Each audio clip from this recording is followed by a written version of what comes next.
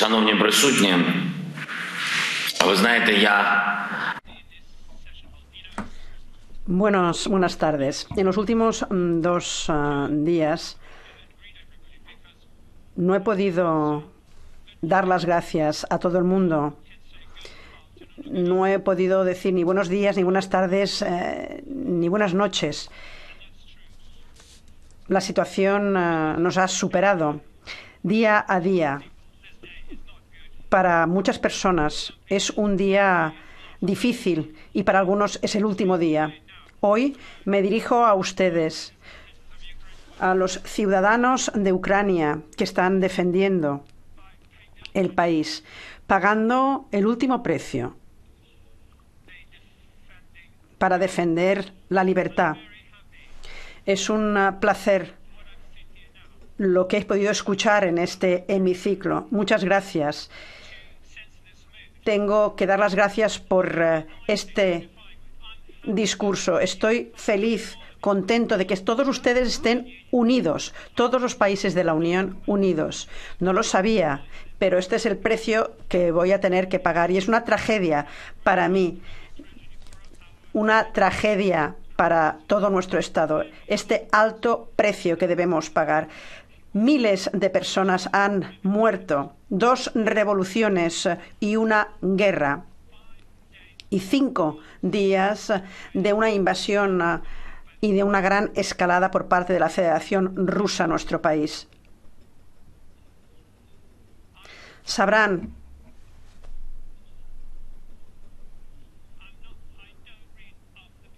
que no estoy leyendo este comunicado porque la fase eh, en que se refería este, esta declaración ha quedado superada. Ahora tenemos que hablar del día a día, de las personas de mi país que mueren, que están en guerra. Todos nosotros estamos viviendo a, a favor de la libertad, de la libertad que ustedes tienen. Estamos teniendo que poner en la encrucijada a las personas que tienen y que son un valor para nuestro país. Ucrania y sus ciudadanos eh, tienen que sentirse orgullosos. Muy a menudo decimos eh, que eh, lo conseguiremos y hoy no solamente ustedes eh, han hablado de ese orgullo, sino que lo han visto. Nosotros damos la bienvenida a todo el mundo y estoy convencido, estoy seguro de que, como se dice en una expresión ucraniana, la opción europea de Ucrania es nuestra opción, es aquello a lo que nos dirigimos. Por lo tanto, a mí me gustaría escuchar por su parte hacia Ucrania, hacia los ciudadanos ucranianos, esa opción de Ucrania para y hacia Europa.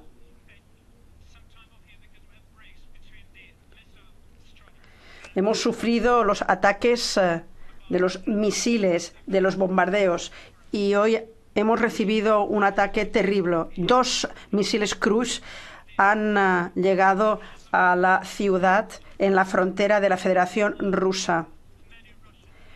Muchos rusos estaban allí y siempre hemos tenido una excelente relación. Más de 20 universidades se, eh, se encuentran allí. Es una ciudad con el mayor número de universidades y la juventud tiene un futuro o tenía un futuro eh, fantástico. Siempre, siempre se ha reunido la población para celebrar y en eh, la Plaza de la Libertad en nuestro país es en la mayor plaza de Europa a favor de la libertad. Dos misiles Cruz esta mañana han llegado a esa Plaza de la Libertad y es el precio que tenemos que pagar por la libertad. Estamos y seguimos luchando por y para nuestro país y nuestra libertad.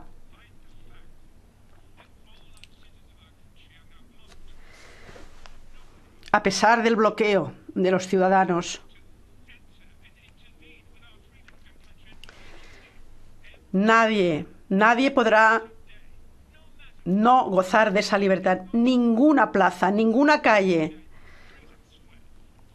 seguirá recibiendo eh, ese nombre de la Plaza de la Libertad, porque nadie podrá interrumpirlo. Somos fuertes, somos ucranianos y tenemos un gran deseo, ver a nuestros hijos, a las futuras generaciones vivas. Y creo que es justo. Ayer fallecieron 16 niños y Putin seguirá diciendo que es una operación militar y que están atacando a las infraestructuras militares. ¿Cómo pueden hablar de ese ataque a infraestructuras militares si mueren niños y jóvenes lanzando esos uh, misiles Cruz? Ayer acabaron con la vida de 16 niños ucranianos.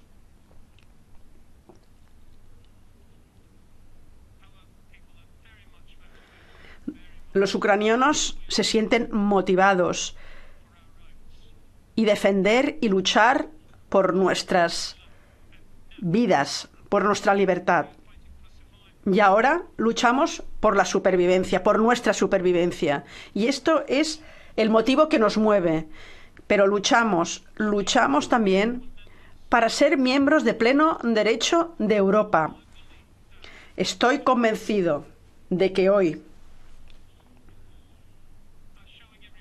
mostramos al mundo exactamente lo que son los ucranianos, lo que es Ucrania.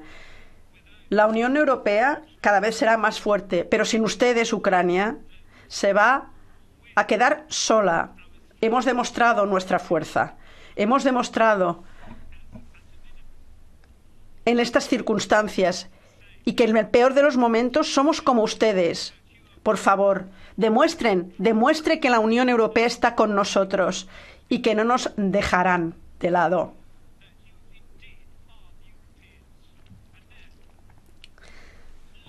de que son europeos y, y, así la vida vencerá a la muerte. Y ante esta situación que estamos viviendo, gracias a todas y a todos.